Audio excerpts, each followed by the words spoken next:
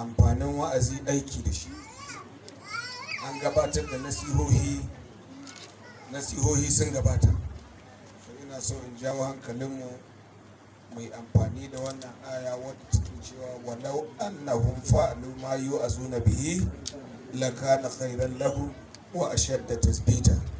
Wa idan la'atainahum min ladunna ajran azima wa lahadainahum siratan mustaqima.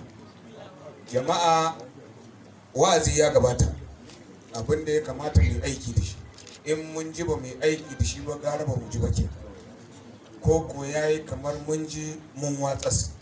Muna fata Allah ya ba mu ikon yin aiki da abubuwan da muka ji ya sa kuma abubuwan da za mu yi Allah ya ɗora akan mizani.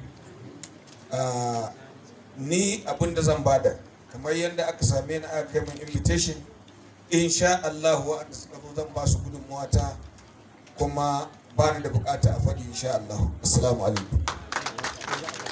Allahu akbar. Allah ya saka da alheri da irin wannan dumbuji